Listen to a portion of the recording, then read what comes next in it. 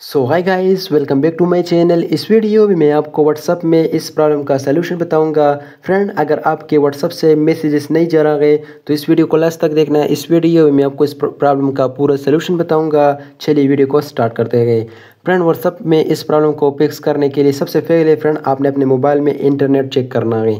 Friend अगर आपके mobile में इंटरनेट वीक है तो फ्रेंड आपकी मिस व्हाट्सअप से मैसेज सेंड नहीं होगी ये प्रॉब्लम आएगी। तो सबसे पहले फ्रेंड आपने अपने मोबाइल में फ़्लाइट मोड को ऑन करना है। फ़्लाइट मोड ऑन करने के बाद दोबारा आप करें। फ्रेंड जब आप फ़्लाइट मोड ऑन आप करें तो आपके मोबाइल में सिग्नल यहाँ पर रिफ्रेश हो जाएगी। और देन आपने चेक करना है तो फ्रेंड यहाँ पर व्हाट्सअप से मैसेज सेंड हो जाएगी।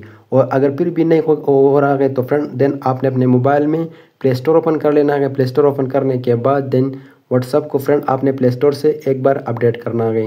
यहाँ पर व्हाट्सअप सर्च करें। व्हाट्सअप सर्च करने के बाद फ्रेंड आपने अपने मोबाइल में व्हाट्सअप को अपडेट करना है। जब आप व्हाट्सअप अपडेट करें, मेरे पहले से अपडेट किया गया देन ओपन करें। तो ओपन करने के बाद फ्रेंड देन ट्राई करें। तो आपके यहाँ पर सेंड हो जाएगी।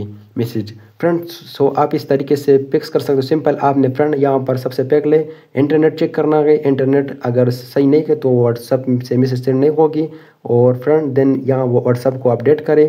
देन फ्रेंड, ये प्रॉब्लम फिक्स हो जाएगी। अगर फिर भी नहीं हो रहा है तो फ्रेंड, एक बार अपने मोबाइल को यहाँ से रिस्टार्ट करें। फ्रेंड मोबाइल रिस्टार्ट करने के बाद आपके मोबाइल व्हाट्सअप से वो प्रॉब्लम फिक्स हो जाएगी। फ्रेंड ये थी आज की वीडियो अगर वीडियो अच्छी लगी हो तो वीडियो को लाइक करें चैनल ज़रूर सब्सक्राइब करें। मिलते हैं नेक्स्ट वीडियो में। Thanks for watching